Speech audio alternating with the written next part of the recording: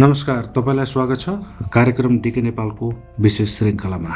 आजको हाम्रो चर्चा रहनेछ नेपालमा बढ्दो क्रममा रहेको यौन विषयमा। नेपालभरि नै यस्ता क्रियाकलापहरू नमौलाएका नबढेका भने होइनन् तर आज हामी पश्चिम नेपाललाई फोकस गरिरहेका छौँ। पश्चिम नेपाल भन्ने बित्तिकै हामी कर्णाली सुर्खेत दैलेख जस्ता क्षेत्रहरूलाई सम्झिन्छौँ। आज हामी सुर्खेत केन्द्रित रहेर यो रिपोर्ट तयार गरिरहेका छौँ। यो रिपोर्ट तपाईँलाई कस्तो लाग्छ?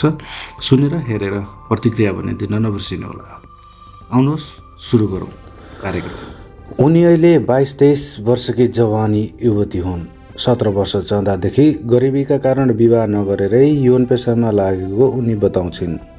घरको आर्थिक अवस्था न्यून भएपछि आफू यौन पेसामा लागेको खुलेरै उनी बताउँछिन्। नाम नबताउने शर्तमा उनले भनिन् गरिबीकै कारण विवाह नगरेर सानै उमेरमा आफ्नो इच्छा पुरा गर्न यो पेसा अँगालेकी हुँ।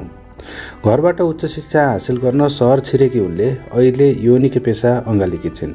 उनले भनिन् मैले यो जवानी यसै पेसामा सुम्पेकी छु। दुई वर्ष पहिले सुर्खेत झरेकी उनका केही दिन अन्यलमा बिते। केही दिनपछि आफ्नो साथीसँग होटलमा पुगिन्।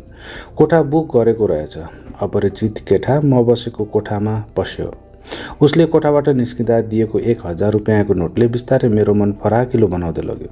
यसैले हो कि पैसा कमाउँदै गएकी छु उनले भनिन् एक होटलमा बसेर राम्रै कमाइ गर्न सफल भएकी छु घर पठाउने पनि गरेकी छु। गला घाँटी र हातमा सुन्छ। यस आरामका साथ बस्न पाएकी छु। मलाई यहाँसम्म ल्याएको गरिबी र अशिक्षाले नै हो। कर्णालीमा यौन व्यवसाय बढ्दै गएको पाइएको छ। नेपाली तथा भारतीय नागरिक यौनजन्य क्रियाकलापका लागि सुर्खेत र दैलेखका स्टार होटेल गल्ली नजिकका होटेल र पर्यटकीय स्थानमा आउने गर्छन्। सुर्खेत कर्णाली प्रदेशको केन्द्र हो।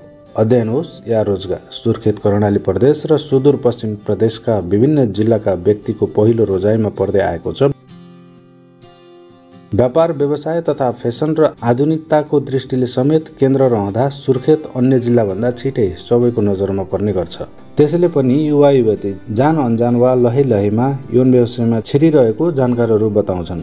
सुर्खेतमा यौन व्यवसाय फस्टाउनुको प्रमुख कारण आर्थिक अभाव विलासी जीवनशैली लागु औषध र देखासिखी प्रमुख कारण हुन्।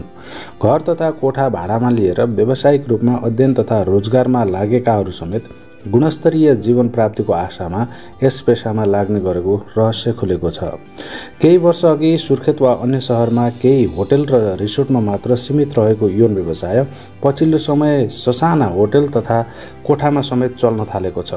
प्रविधि मैत्री बनेको युवा पुस्ता प्रविधि मार्फत नै आफ्ना ग्राहक र यौनकर्मीको खोजी सहजै गर्छन् जसले गर्दा प्रहरी वा प्रशासनको पहुँचभन्दा टाढा रहन सकिने उनीहरूको बुझाइ छ। कर्णालीमा गरिबी अशिक्षा अभावले कालीकोट दैलेख जुम्ला मुगु लगायतका किशोरी सुर्खेतमा बस्दै यौन व्यवसायमा लाग्ने गरेको प्रहरीको तथ्याङ्क छ। सुर्खेतमा मात्र होइन वीरेन्द्रनगरको एरी चोक वीरेन्द्र चोक यी चोकका गल्ली प्रदेश अस्पताल नजिकैका होटेल पर्यटकीय क्षेत्रहरूमा त्यस्ता क्रियाकलाप मौलाउँदै गरेको जानकार बताउँछन्। उसो त वीरेन्द्रनगर वा सुर्खेत जिल्लामा ठुला होटल र होमस्टे मात्रै त्यस्ता क्रियाकलाप हुने गरेको भने होइन। सुर्खेतका केही स्थानमा पक सडक छेउमै यौनिक मोलमोलाइको हुने गरेको बताइन्छ। यस्तै दैलेख जिल्लाको सदरमुकाम बजारका होटलहरूमा पनि यौन व्यवसाय चल्ने गरेको छ। सामाजिक सञ्जाल फेसबुक इन्स्टाग्राम ट्विटर र टिन्डर जस्ता एपका माध्यमद्वारा यौनको मोलमोलाइ तथा खरिद बिक्री हुने गरेको छ र त्यसको छनक प्रहरी र प्रशासनलाई नहुने भएका कारण यस्ता यौनजन्य क्रियाकलाप सुर्खेतमा मौलाउँदै गएको हो। त्यसो त कर्णालीमा यौनिक क्रियाकलाप रोक्न प्रहरीले प्रयास भन्ने नगरेको होइन। गत जेठ दसमा दैलेख सदरमुकामबाट दुईजना यौन व्यवसाय सञ्चालन गर्दै आएका होटल मालिकलाई प्रहरीले नियन्त्रणमा लिएको थियो। गोप्य सूचनाका आधारमा दैलेख प्रहरीले सदरमुकाम स्थित ज्वालामुखी होटलका सञ्चालक चालिस वर्षीय तीर्थप्रसाद नेउपाने र आरती होटलका सञ्चालक तिस वर्षीय दिपेन्द्र कटवाल रहेको दैलेखका नायब उपरीक्षक डिएसपी किशोर लम्सालले बताए। सञ्चालन गरिरहेका दुईजना पक्राउ गरेको छ। यौनजन्य क्रियाकलाप हुने होटलहरूमा छापा मार्ने र त्यस्ता क्रियाकलापमा संलग्न व्यक्ति तथा होटल सञ्चालकलाई नसियत समेत दिने गरेको छ तर पनि यौनिक क्रियाकलाप भने रोकिन सकेको छैन।